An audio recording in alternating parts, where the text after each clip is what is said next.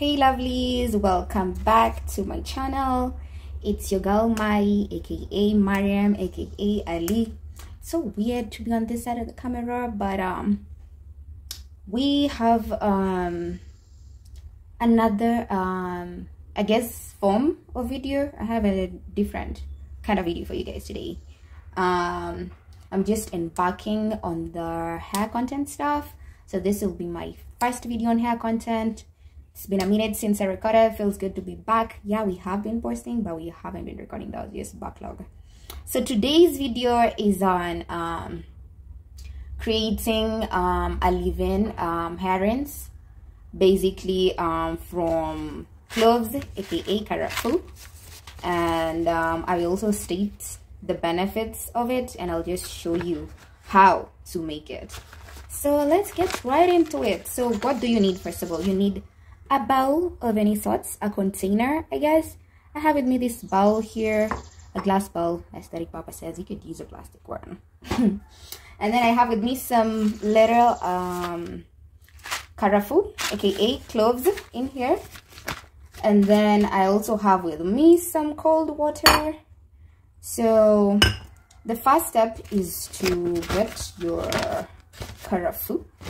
i'm gonna get it out of this um, bucket so depending on your on the amount of hair on your head or in the amount of um um hair rinse you want to create um considering maybe the amount of duration you want to use it for just um make the portions according to that. Personally i'm just making a little.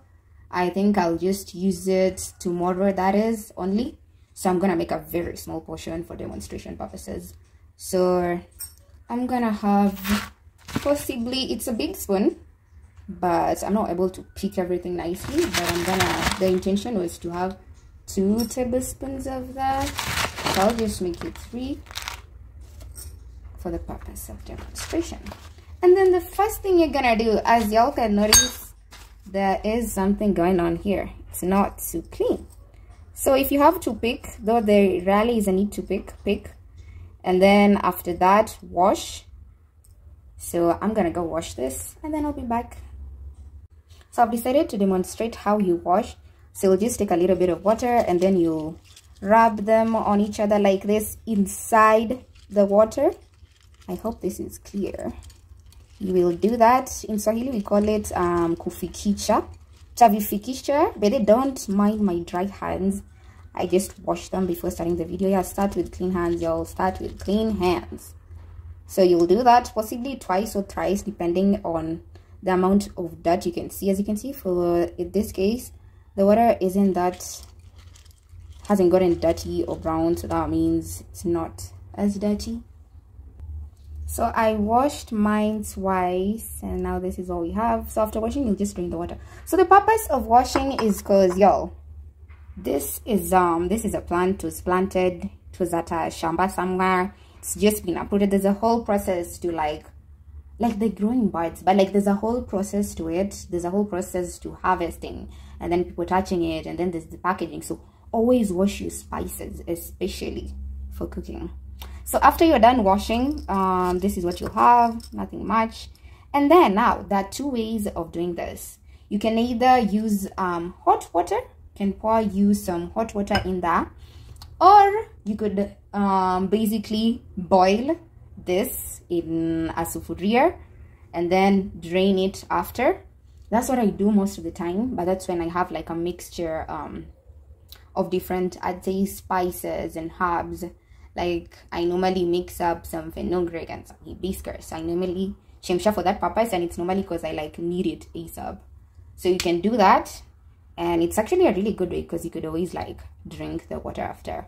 But because we watched this you can always drink after. So the method i'm gonna show today is more or less similar to like how you'd make cold pressed um cold pressed oil. So we're just gonna use cold water. Pour it as so again um depending on your portions the amount of um cloves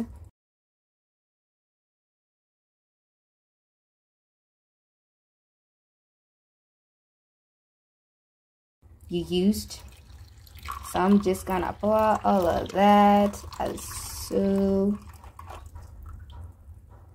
So depending on the amount you need or you could you'd add water accordingly. So to my two tablespoons i'd say i've added like uh, half a cup of water or three quarter. So you could use similar portions. And then after that for this second part and that's why i think i'd actually recommend for you guys to use um a container like with tupperware so that you can just cover it after. Or the other option would be for you to enclose the mixture with foil and then let it sit overnight. So if you do not have foil or if you don't have a container that has um, a lid because I, I think it's better for it to be like tightly like closed. So you could always put it in a bottle and then close it nicely and then let it sit overnight. Is it just me or the color of the water is already turning? Meaning it's already um draining from the karafu this is so beautiful. So you don't need hot water as you can see. And i think probably this is also like the best way to go because you're actually able to like retain all the nutrients because there's always that possible chance of heat taking away too much including some nutrients. So this enables you to get everything 100% so yeah that is um so i think i'll leave it overnight and then i'll show you guys the results tomorrow morning. So a day has passed and um, this is our results. I actually ended up switching it to a container with tupperware like i said. So this is how it's been overnight outside the fridge. Room temperature is okay. And this is how it looks on the inside. See there the color has changed y'all. It's like so deep right now. So I'm just pour into this bowl for better visuals. As you can see, the color of the sticks has changed. They're now way lighter. They're like cream or just a really light brown. And the water is now um, the color of like strong tea for the lack of a better description. Guys, something's not happening with the lighting. What's happening? with the lighting. Too much light, possibly. Yeah, that's how it's supposed to look like. Oh my god, guys, what's happening? But this is the result. As y'all can see, should I just switch off? I think that's okay. Yeah, so after this you can either pour this into a spray bottle. Mine is enclosed by as usual or rather i don't have it here. Or you can pour it into a bottle that has a dropper or any container. Just use your dropper for application purposes. So you can apply this both on your scalp and um, your hair body. There's a bird that's not giving me rest, y'all. It's so loud. Yeah, so you can put this on your scalp or on the body of your hair. It's okay for both.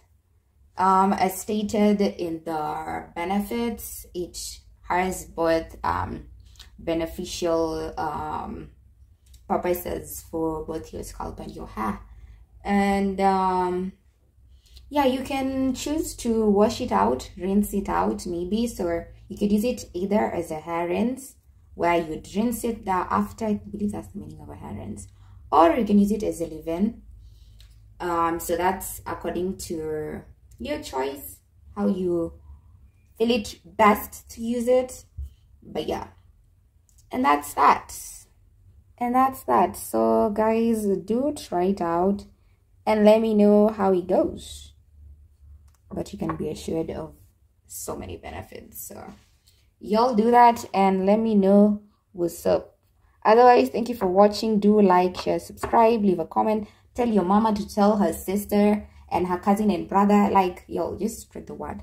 Spread the word. Bring in new subscribers. Damn. And um thank you for watching. See you next time